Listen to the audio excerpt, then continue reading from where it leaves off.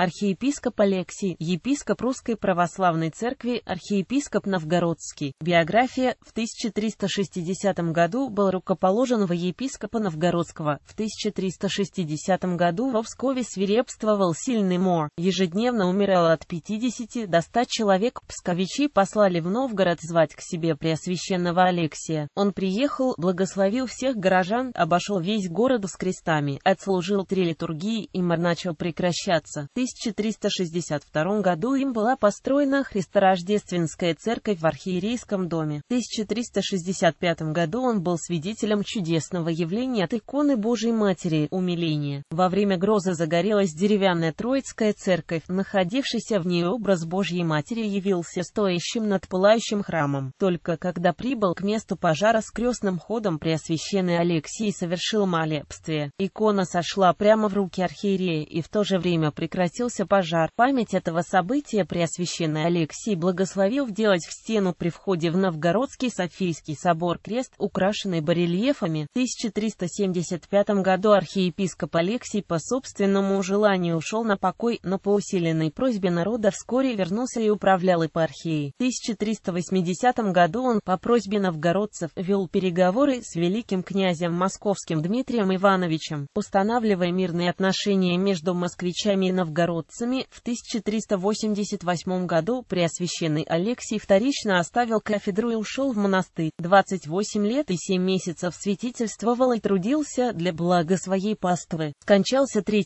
февраля 1389 года и был погребен в Новгородском деревянецком монастыре в притворе Воскресенского храма.